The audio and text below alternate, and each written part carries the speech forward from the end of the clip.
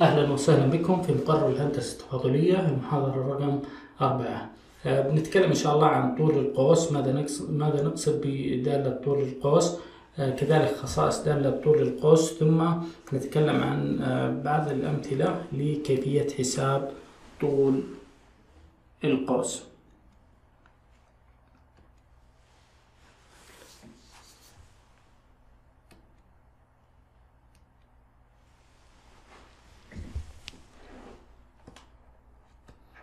نبدأ بالتعريف ليكن لدينا المنحنى. الألفا معرف من الآي إلى الآر إن المعرف بالشكل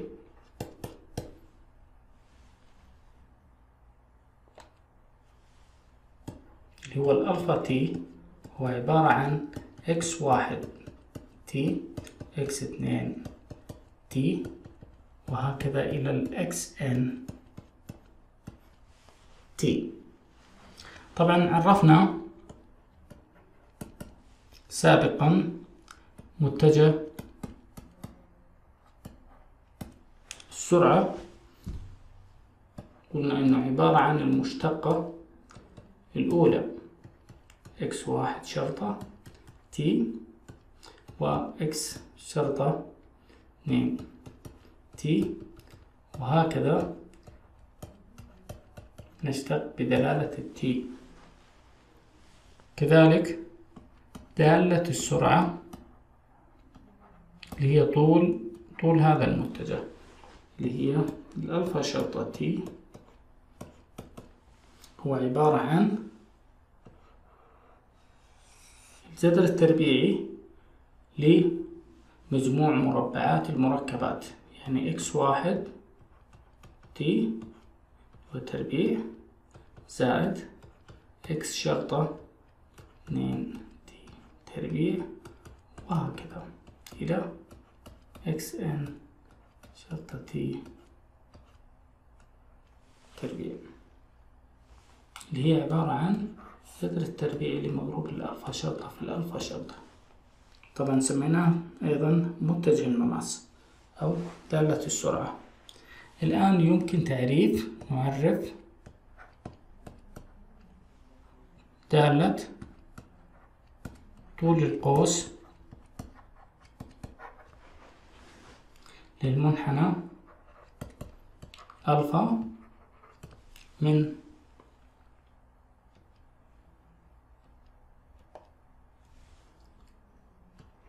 من ال A إلى AT بالشكل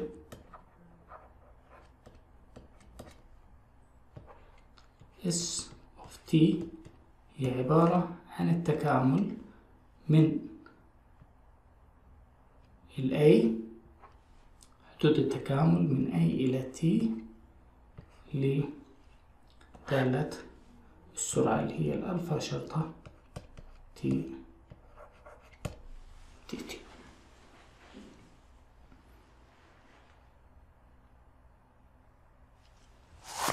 لو رسمنا منحنى.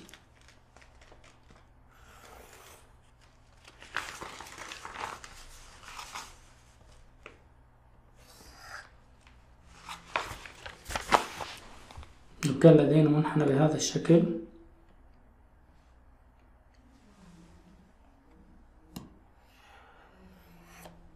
ليكن هذا هو المنحنى ألفا. طيب تخيل أنه لدينا جسيم جسيم يتحرك على هذا المنحنى. مثلا سيارة عند النقطة هذه. والنقطة هذه هي عبارة عن لما تي تساوي ال A وتحركت حتى وصلت للنقطة هذه.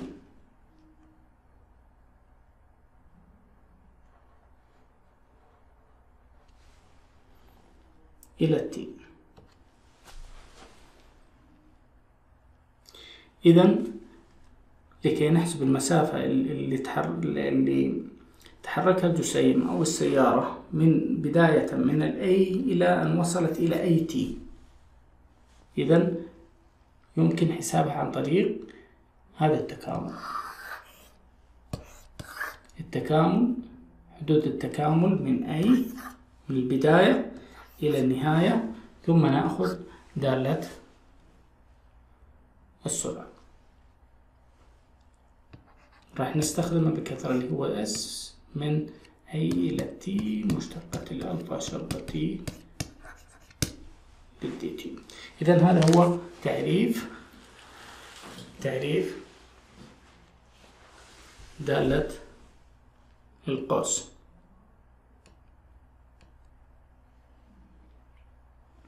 ما هي خصائص دالة القوس؟ دالة طول القوس. أولا دالة طول القوس تفاضلية. دالة طول القوس تعتبر ماذا؟ تفاضلية. أي يمكن اشتقاقها لأنه الإس هو عبارة عن التكامل يكون من صفر إلى T ألفا شرطة T DT يمكن اشتقاقها بالنسبة اشتق بالنسبة إلى ال DT D على ال DT نعرف إنه التكامل هو دالة عكسية للاشتقاق والعكس فبالتالي يكون الناتج هو عبارة DS على DT هو عبارة عن الألفا شرطة T ونعرف أن الطول دائما ماذا؟ دائما موجب. إذا هي دالة دائما أكبر من الصفر. وهذه راح نستخدمها بكثرة اللي هي DS على DT دائما تساوي الألفا شرطة T مهمة جدا. طيب الخاصية الثانية إنه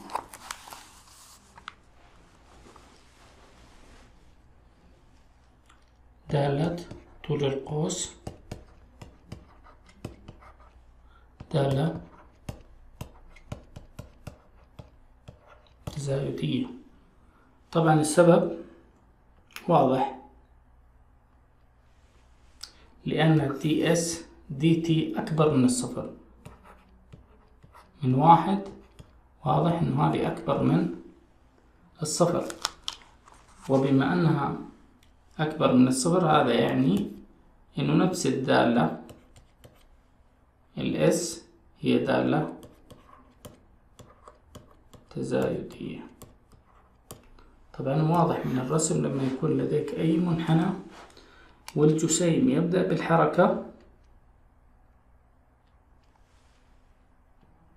الجسيم في هذا المكان يبدأ بالحركة. إذا المسافة اللي يتحركها دائما تبدأ بالارتب بالزيادة. هنا مثلا مشى خمسة متر عشرة متر عشرين متر وهكذا. كلما تحركت على المنحنى إذا يعني أن المسافة تزيد. طبعا بما أنها تزايدية هذا يعني أن لها وهذا يعني أن لها معكوس. أي دالة تزايدية يعني لها معكوس.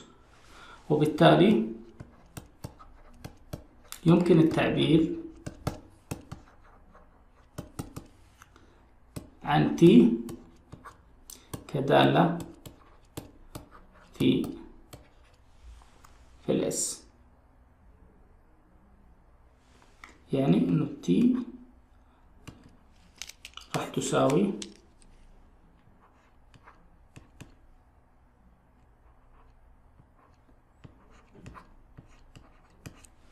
T of S.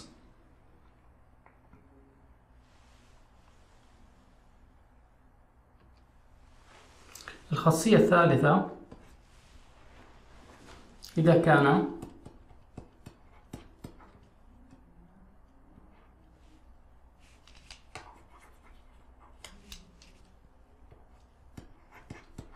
إذا كان طول المماس أو متجه المماس يساوي الواحد لكل T يعني الطول دائما ثابت يساوي الواحد.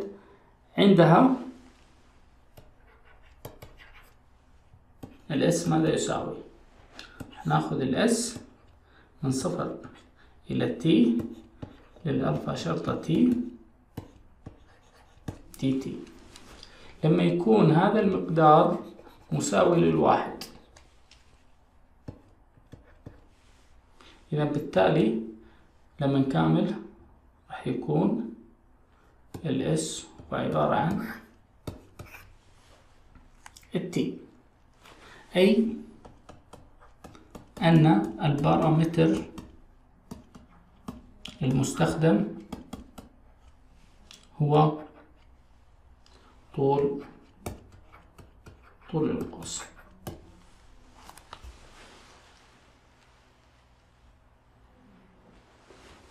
وبالتالي لازم نعرف هذه من الأشياء المهمة لما أعطيك تمثيل أي أي منحنى ممثل بارامتريا ألفا t تساوي x واحد of t مثلا و x اثنين of t لازم نعرف هل التمثيل البارامتري المستخدم هل هو طول القوس أم لا. هل ال s يساوي ال t إذا راح تعرف لما تحسب متجه المماس أو دالة السرعة وتحسب كم تساوي. إذا كانت مساوية للواحد إذا راح تعرف إنه التي هذا المستخدم هو نفسه الاس طيب الآن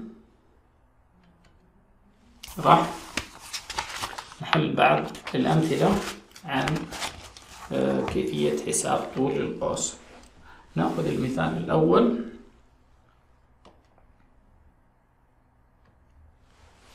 مثال واحد.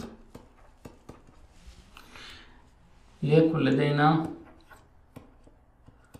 المنحنى المعطى بالصيغة الكارتيزية y تربيع تساوي الإكس تربيع. طبعا هذه تسمى صيغة كارتيزية.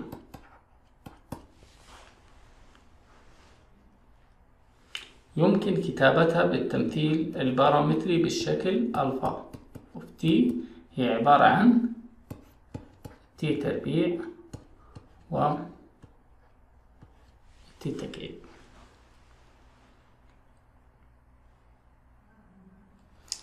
طبعا لو رسمناها راح تكون بالشكل التالي.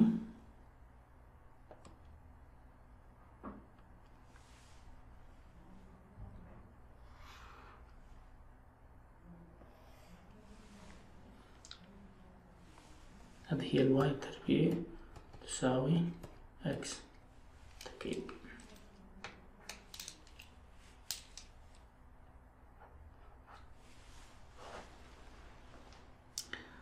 طيب الآن نوجد أوجد طول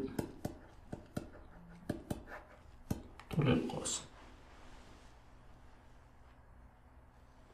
ممكن نضيف نقول في البداية هل المنحنى منتظم؟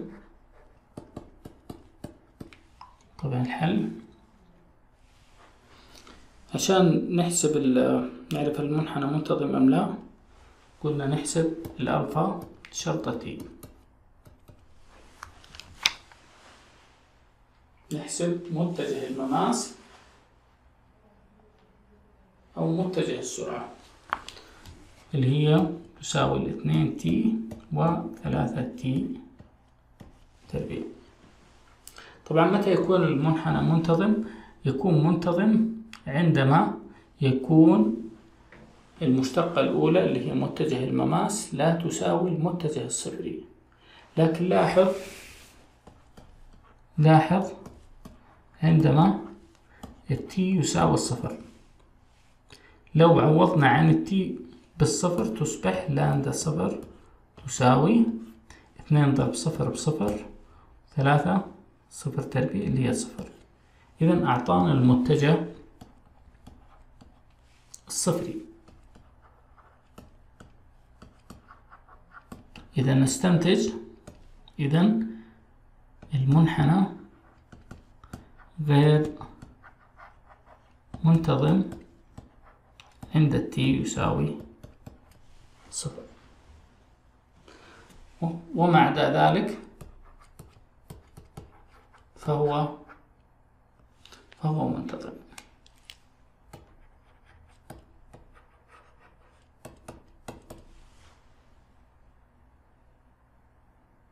يعني منتظم على الار ناقص. ناقص. صفر طبعا المشكلة في عدم الانتظام لأنه لدينا عند الصفر والصفر الزاوية هذه اللي تسمى بالإنجليزي كسب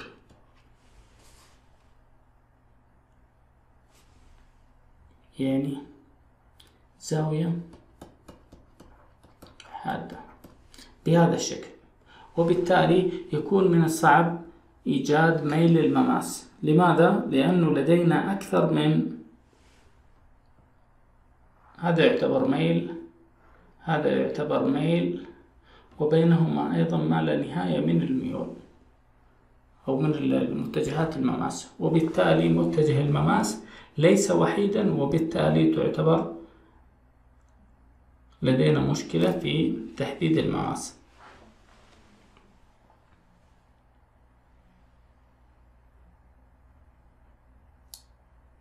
وبالتالي يكون المنحنى غير غير منتظم عند النقطة عندما تي تساوي تساوي الصفر. طيب الشيء الثاني الآن نحسب القوس طول القوس علشان نحسب طول القوس نحتاج إلى الألفا شرطة t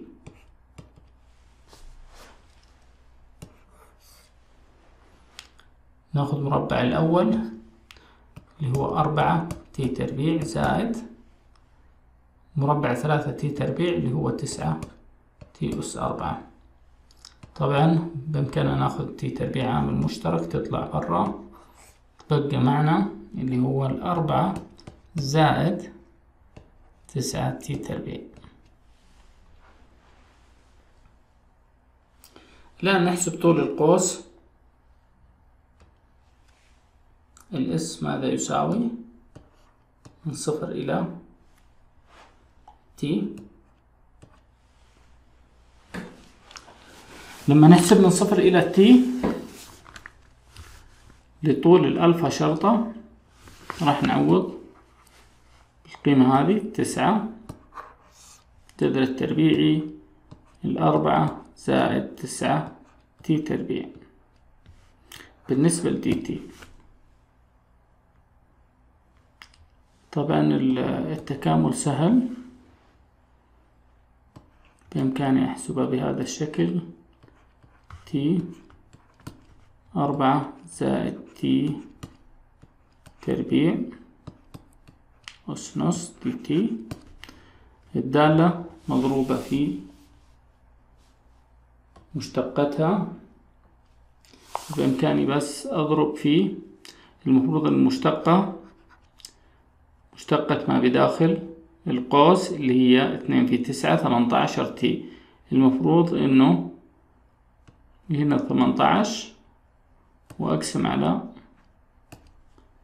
عشر تصبح واحد على ثمانية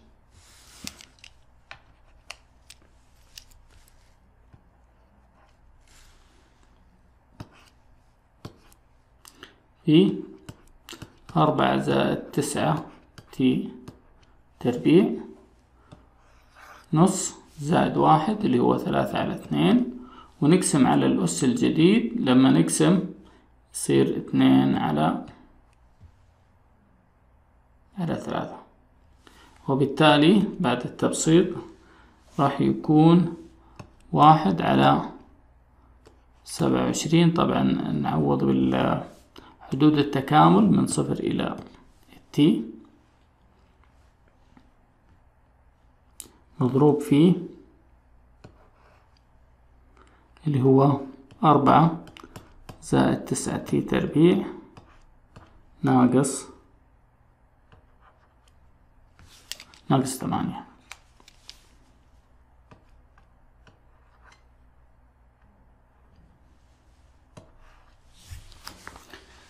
إذا هذه قيمة ال s. تصبح ال s دالة بدلالة ال t لأنه أصلا من حدود التكامل هنا نكاملها بالنسبة إلى ال t. طبعا في السؤال لما يقول لك أوجد طول القوس هنا راح نحسبها من صفر إلى من t تساوي الصفر إلى إلى أي t. بس لما أعطيك الحد الأصغر الحد السفلي والحد العلوي فبالتالي بإمكانك توجد الحل كعدد لأنك راح تعوض مكان تي بقيمتها الحقيقية.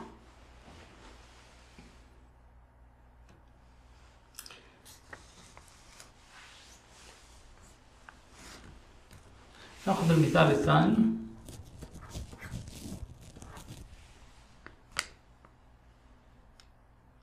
اللي هو الألفا. t تساوي a cosine t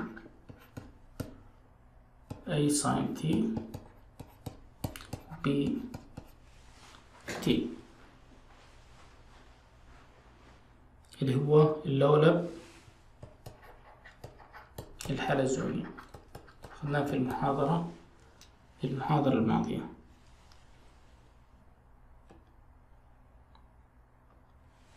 الألفا شرطة نحسب الألفا شرطة t ماذا يساوي؟ سالب a sine t و a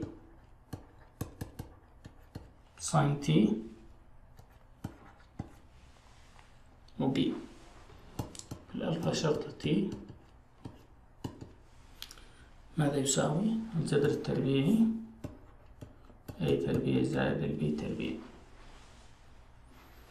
إذا ال s من صفر إلى ال t عبارة عن تكامل a تربيع زائد ال b تربيع dt طبعا واضح؟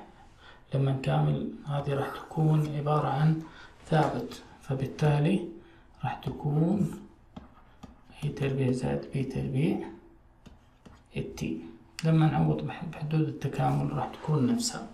إذا طلع عندي إنه الإس هي عبارة عن دالة في التي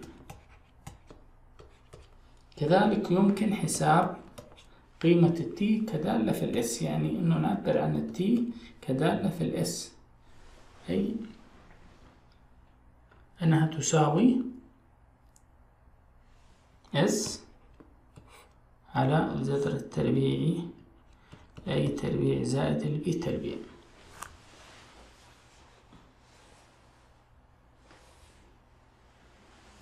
وبالتالي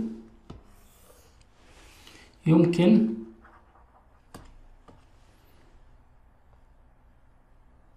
إعادة تمثيل المنحنى باستخدام طول. القوس. كيف يمكن إعادة تمثيله باستخدام القوس؟ يعني إحنا كنا نكتبها بالشكل هذا. ألفا أوف تي ماذا يساوي الأي cosine t و a sine t و b t يمكن إعادة تمثيله باستخدام طول القوس. يعني يمكن التعبير عن ال s بقيمتها بدلالة ال s. يعني نشيل نعوض عن كل t القيمة هذه. نروح على t نمسح ال t ونعوض مكانها ب s على a تربيع زائد ال b تربيع نروح على ال t تشيلها نعوض مكانها s على ال a تربيع زائد ال b تربيع نروح نشيل ال t ونعوض مكانها ب s على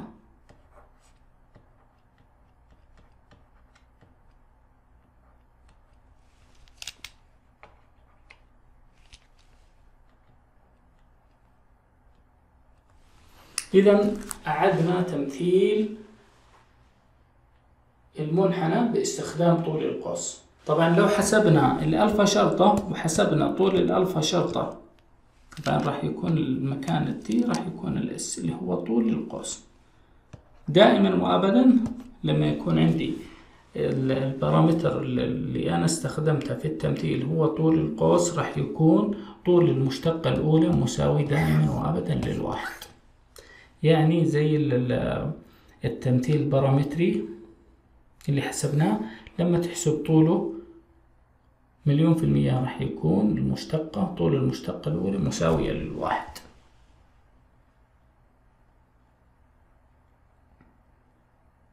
إذا علشان نعيد تمثيل التمثيل باستخدام طول القوس ماذا نفعل؟ أولا نوجد المشتقة الأولى.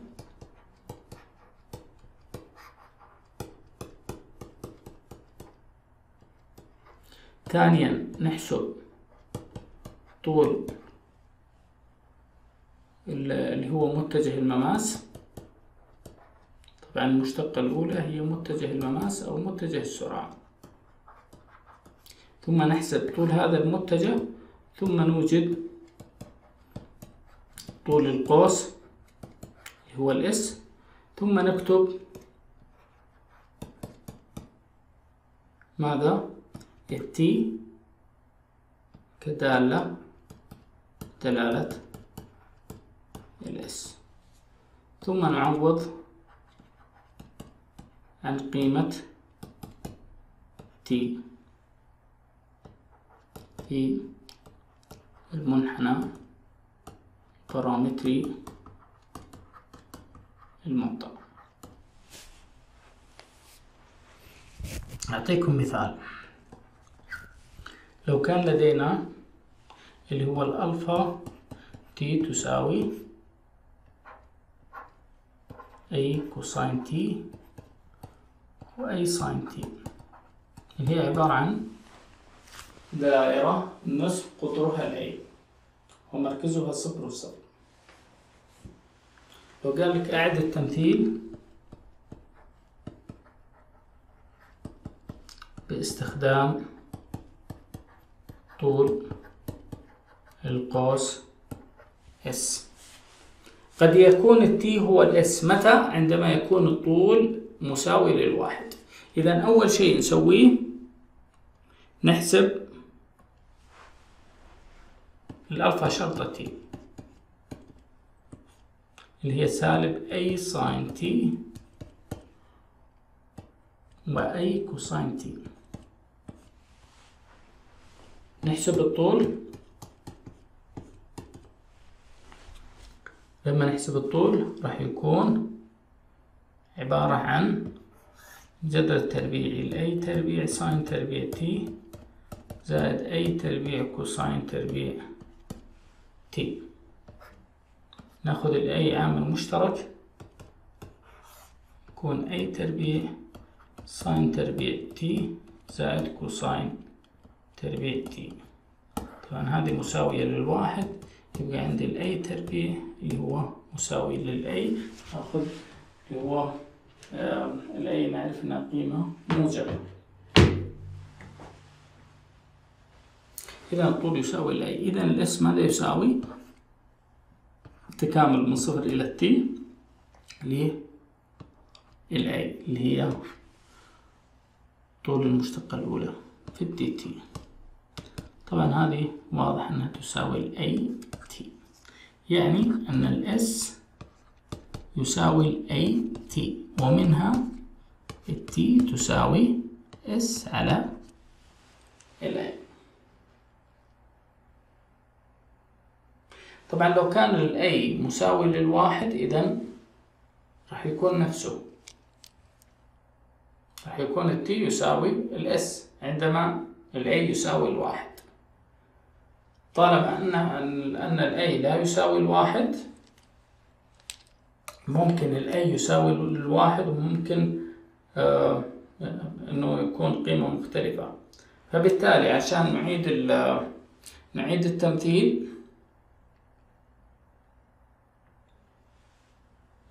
بس نروح نغير ال t نحط قيمتها s على a هذا راح تكون s على a؟ نروح نغير ال t ونكتب مكانها. ال s. اذا أعدنا تمثيل المنحنى باستخدام طول القوس. دائما